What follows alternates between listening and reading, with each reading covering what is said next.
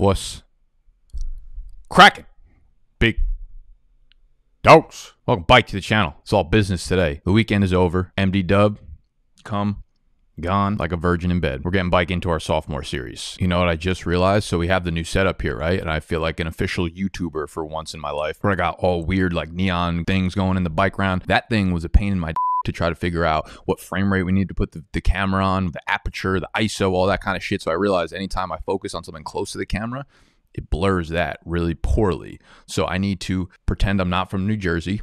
I need to stick my hands in between my legs and keep them down there. It's actually kind of nice because it's cold in my room. That feels good. So the longer I keep my hands down there, the greener that sign will be. Let me know how you're feeling about the new setup. So basically, based off last week's video, we looked at Jonathan Taylor and we looked at CeeDee Lamb. And I said, I want to go one by one, going off of the underdog fantasy ADP, average draft position, and see where this rookie class was going and break down, you know, the RB1 and the wide receiver one in a, in a video. And then we're going to go the running back two and the wide receiver two in a video. We're going to keep going down this sophomore class because this is one of the most exciting classes we've seen in quite some time. And I was like, I need a name for the series. And you guys dropped some good comments down below. Some of them are, uh, some of them were pretty funny. Some of them you could have kept that shit to yourself. But my two favorite were hindsight is 2020. You get a little, you know, you get to look bike on it. You say hindsight, but you also get to use 2020. So I thought that was creative. And then you have Sophie seconds, which is more probably on brand because we like to talk about sex here. So Sophie seconds, sloppy seconds, and we're talking about sophomores. So it kind of works. So I haven't chosen which one I like more. So I want you guys, the audience right now,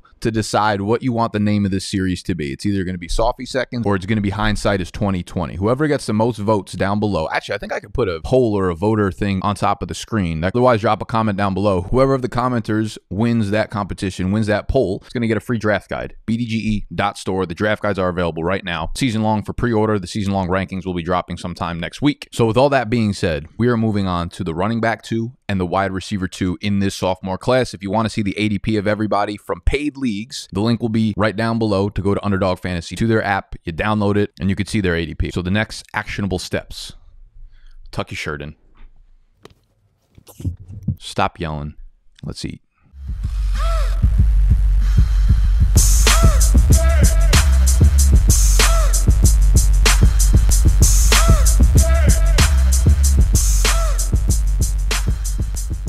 And again, this series, we are breaking down two players in each episode a running back and a wide receiver in the sophomore class. And this is per ADP, average draft position right now. These are not per my rankings. These are not some subjective kind of bullshits right now. These are per ADP in paid leagues on Underdog Fantasy. We went Jonathan Taylor, who was the RB1 last week. Today's running back, we are breaking down. This might be the most important video I make this summer because we are claiming our ground right now.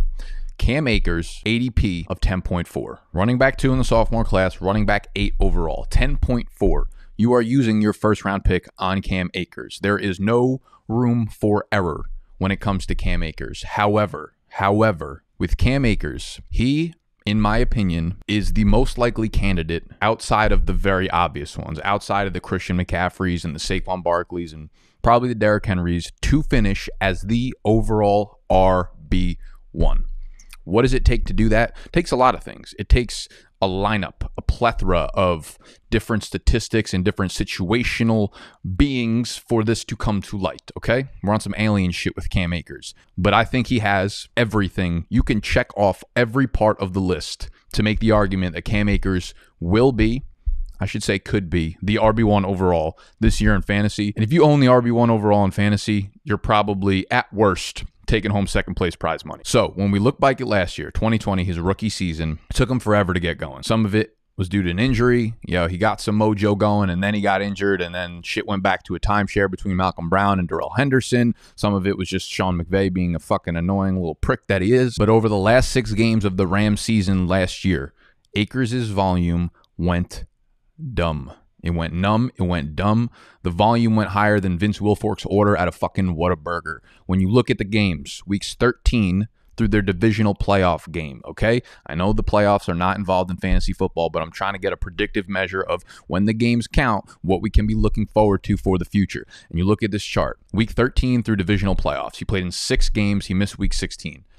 Per game numbers, okay? That's the middle row And then you look at the 16 game pace. I know it's 17 games, but we're all going to take a little bit of getting used to seeing 17 week numbers going on. So per game stats over those six weeks, Cam Akers averaged 22 carries, 93 and a half rushing yards, three total touchdowns, 2.3 targets, opportunities, 24.3 opportunities per game, total yards of 118, fantasy points in half PPR, 15.8. Last year would have ranked RB6. And then you could look at the 16 game pace, man. He was on a 16 game pace over those last six games of almost 1,900 yards from scrimmage. Are the targets where we want them to be? Are the touchdowns where we want them to be? No, but that's all going to be reconciled with what have changed in LA this year with the Rams. First of all, Malcolm Brown is gone. Malcolm Brown being gone is really, really important because Malcolm Brown was much more involved than I think people realize. Eh, people realized it last year because he pissed everybody the fuck off. You know,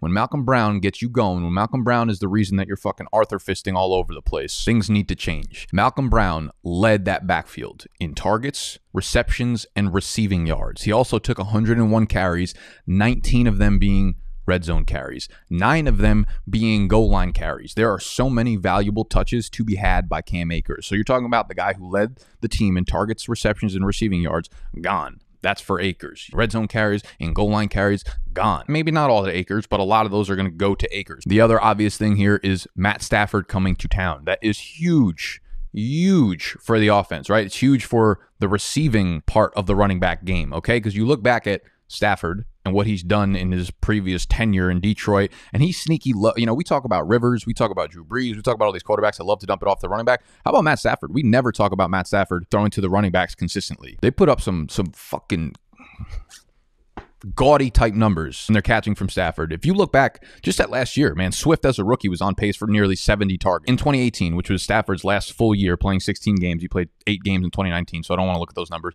But you look at his last full year, 2018, Detroit running backs combined for 140 targets. And then it's basically Theo Riddick from 2017 through the, his lifetime contract with the Lions like 10 years back. 85 targets in 2017, 92 in just 10 games in 2016. Stafford is going to throw the ball to the running backs and throw the ball to the running backs a lot. And Akers is a good pass catcher. He's a very athletic running back. All right. So don't let the 2.3, 2.5 targets per game deter you from taking him. He's not a Derrick Henry type guy. He's not a guy that's not going to catch passes. He's going to catch a ton of passes, getting passes thrown to him from Matt Stafford. And when you look at when Gurley was winning fantasy leagues for people a few years back, right? He was seeing like 90 plus targets per season. Those are the numbers. I don't think I don't expect Akers to get up to that number, but Gurley's nothing special on the receiving front. If McVay did that with him, he'll do it with Akers too. Will there be a bit of a split between him and Darrell Henderson? I mean, minorly, yeah, sure. But to be honest with you, I was way more worried about Malcolm Brown because Malcolm Brown takes those annoying, valuable touches. He's the one who's going to vulture you on the goal line. He's the one that's going to be on the third down uh, situations because he's because because Sean McVay can trust him and he'll block and he'll do all the right things. But that means if he's in on third downs, he's taking pass catching situations. Okay. The other big thing that's going really really overlooked with Cam Akers' situation this year is the LA Rams offensive line. They ranked fourth in run blocking per PFF. That was right behind Indianapolis. Check this out because Jared Goff was their quarterback in LA last year. Teams were stacking the box against Akers. When you look at Akers' player profile, average defenders in the box against Cam Akers, fifth highest number in the NFL stacked front carry rate. 36% of the time he took a carry, he was seeing a stacked box. Eighth highest number in the entire NFL base front carry rate number six, light front carry rate 61st. He never saw light fronts, okay? Now you bring in Matt Stafford, who's got a big arm. You bring in DeSean Jackson. You bring in Tutu Atwell, guys that are speedsters and will spread the defense around. These defenses ain't going to be doing that shit in 2021. Again, Cam Akers has a very, very, very, very real possibility of becoming the RB1 overall this year in fantasy. I'm not saying it's likely, but it's very, very real. The upside is very real. And if he drops into the second round of your draft, he's an absolute the easiest smash. I know in uh, underdog ADP, which is the sharpest ADP on the web right now, he's at 10 and a half, but I think in most normal leagues, in most work leagues, in most friends and family leagues, Cam Akers will probably drop into the second round. That is where you hit that fucking button and you break your laptop hitting draft. You just check the boxes, man. You have an athletic running back who has breakaway speed in Cam Akers. He has size to be a three down workhorse. Now the opportunities open up with Malcolm Brown gone. You have a very good quarterback. You have a very high scoring offense now. You have a very good offensive line. There are not a lot of flaws to the situation that Cam Akers is in right now. And you just look again over the last six weeks of the season. I know the volume was high because they didn't trust Jared Goff, but if the volume goes back to Matt Stafford, a lot of those are gonna are gonna end up being pass catching situations for Cam Akers and Malcolm Brown out of the situation. Darrell Henderson got like no run last year. He was getting carries of like two, one, three per game when Cam Akers took over in that backfield. I haven't done my season long rankings yet. They're probably going to drop in a week or so in the draft guide on bdge.store but I'm a little nervous about just how high I'm going to have this dude ranked, and it's going to be very, very, very, very, very, very, very, very high. Okay. So Cam Akers, the RB2 in the sophomore class per underdog ADP. Let's switch gears, move over to the wide receiver two and that is CeeDee Lamb of the Dallas Cowboys. Currently going off the board as the wide receiver 14, 37 overall. So that's the 401 first pick of the fourth round. Lamb was just the absolute goat coming out of college. He was he was basically last year's Ja'Marr Chase, where he was the consensus number one. You know, you had a couple guys trying to get cute and be like, oh, Jerry Jeudy's route running is fucking whatever. Same thing with Devonta Smith. But you're taking Ja'Marr Chase, the wide receiver one this year. You were taking CeeDee Lamb as a wide receiver one last year. And Lamb was absolutely fantastic as a rookie. Most importantly, most importantly, that was when Dak was under center So if you look at the splits, you have the five games where Dak played, and that shit was real. That shit was real on the left side. You see CeeDee Lamb averaging nearly six receptions a game, 17 PPR fantasy points per game, eight targets a game, 87 receiving yards per game. If you look at those splits, if you pace them out to the full 16, right? If Dak never got hurt, you're probably looking at something like 125 targets, 93 catches, 1,386 receiving yards, six and a half touchdowns.